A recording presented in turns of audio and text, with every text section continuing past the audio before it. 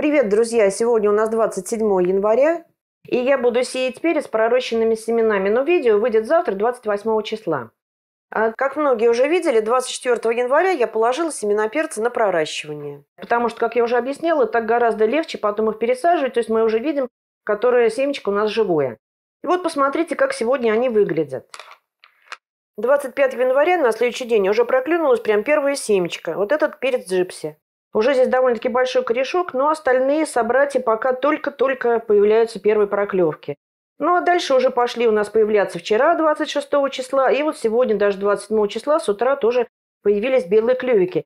И вот в этот момент уже обязательно надо начинать его пересаживать. То есть вот я вам сразу хочу сказать, не ждите, даже если у вас вот одно-два семечка проклюнулось, сразу их переносите в горшочек, для того, чтобы у нас уже корни полноценно развивались вот именно в условиях грунта. А остальные потом подсадите, подсеете, когда они тоже соизволят показаться. Какой взять объем горшочка вот для того, чтобы произвести посев семян? Ну вот если выращивать рассаду в установленные сроки, то есть вот как вот рекомендовано по агротехнике, как указано на упаковке, то достаточно будет взять вот такой вот горшок, допустим, объемом пол-литра. На два месяца до высадки в грунт этой, этой земли будет вполне достаточно нашим сеянцам. Но у нас с вами ранние посевы будет перец находиться минимум 3 месяца вот у нас в домашних условиях. Конечно, тогда и объем грунта должен быть большой. Минимум литр, но это совсем минимум, это даже, честно говоря, немножко мы с вами пожадничаем. Вот полтора и два литра, вот это самый оптимальный вариант. Вот поэтому я тоже много раз об этом говорила и в комментариях отвечала, что когда вот вы планируете такие ранние посевы, учитывайте и эти моменты. Теперь, друзья, были еще такие вопросы в комментариях. А можно ли взять семечко и сразу посеять его в большой стаканчик? Ну, чтобы потом не заниматься дополнительными пересадками. Все-таки делать этого не стоит. Потому что, смотрите, да, если мы в грядку вот можем посадить семечко, и будет оно там хорошо расти, и поливать будем спокойно, там же площадь большая, ограничений никаких нет. То есть влага хорошо и испаряется, и распределяется. А вот беру я вот такой вот пакет, вот в которых у меня будет потом расти перец. Здесь практически 2 литра грунта.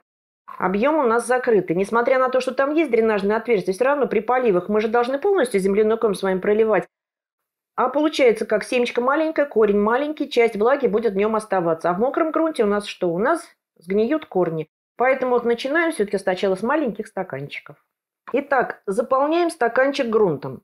Что касается грунта. Грунт для рассады перцев, ну, собственно, как для любой другой рассады, должен обязательно быть воздухопроницаемым и влагоемким. Для чего? Для того, чтобы у нас корневая система вот именно получала кислород и хорошо развивалась. Также питательным. Несмотря на то, что вот на начальном этапе в самом семени достаточно питательных веществ, ну, как, это как материнский стартовый капитал, потом, когда будет дальше наше растение больше становиться, пышнее, соответственно, и питание будет надо больше. И вот для того, чтобы нам с вами не заниматься дополнительными подкормками, там, опрыскиваниями, я не знаю, как улучшением самого грунта, лучше сразу, чтобы он был вот именно подготовленный. Ну, про подготовку грунта я вам рассказывала. Но в крайнем случае можно просто взять, купить готовый грунт для рассады. Сейчас очень много вот именно с добавлением биогумуса, потому что биогумус – это вот отличное как раз питание для растений на любой стадии их роста.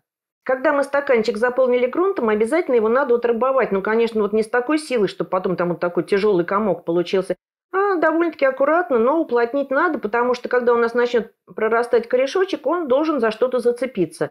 Если будет совсем такой пышный, легкий грунт, ну, просто-напросто он может там вот заваливаться и в сходик упадет.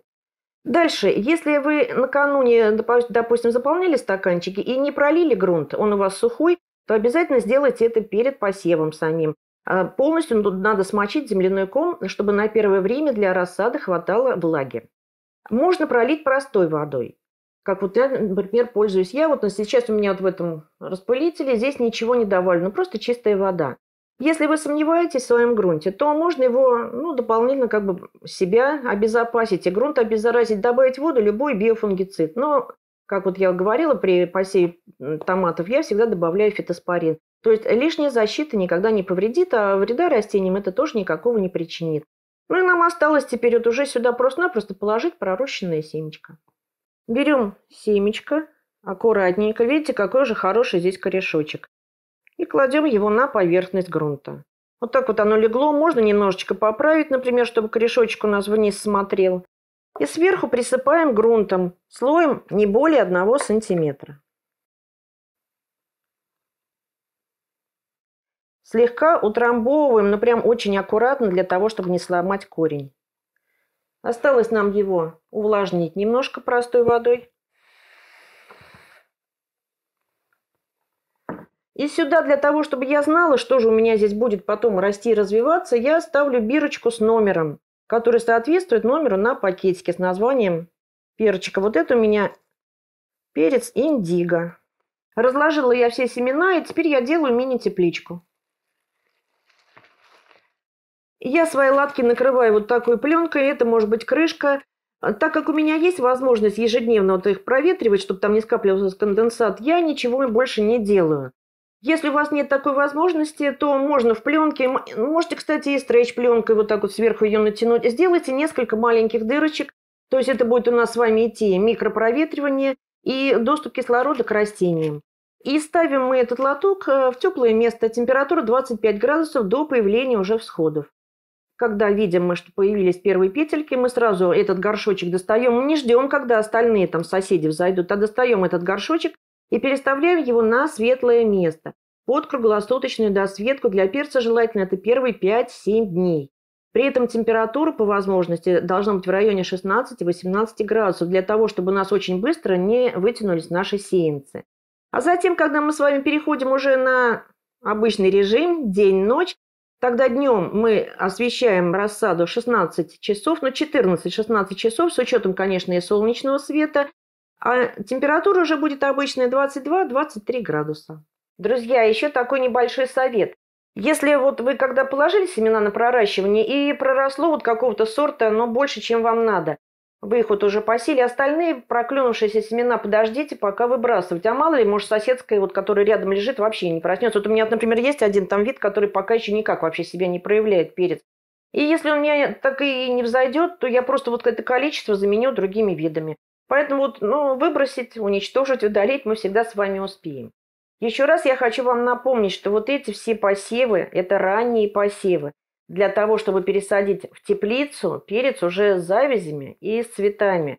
Поэтому обратите на это внимание, потому что очень часто вот не досмотрите, или кто первый раз посмотрел, или недавно меня смотрит и пишете, зачем такие ранние посевы. Я вам объясняю, что это вот именно мой выбор, и меня он устраивает. Еще такой один момент. Для тех, кто э, занимается выращиванием рассады лука-порея, посмотрите у себя на упаковках. Если у вас позднеспелые сорта лука-пореи, то лучше всего их посеять на рассаду уже будет в начале февраля месяца. А вот для среднеспелых э, подойдет уже ну, где-то 20 числа февраля, как раз когда вот будем сеять мы с вами и лук, обычный чернушку, репку на рассаду.